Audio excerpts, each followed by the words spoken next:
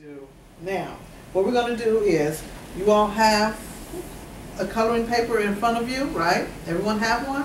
Yeah. Okay, now each one of you have something to color with, okay? This is yours, this is yours, and so forth. This is yours, and that's yours. Now, we're gonna start off in the beginning, coloring. You're gonna start with crayons, and then, after a couple of minutes, you're gonna share, okay? Bring over here, your markers.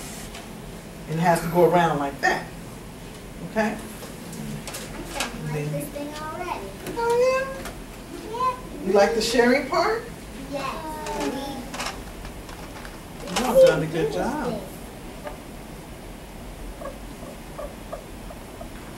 Very good. Here you go, yeah. Here you go, Gabriella. Here's the one that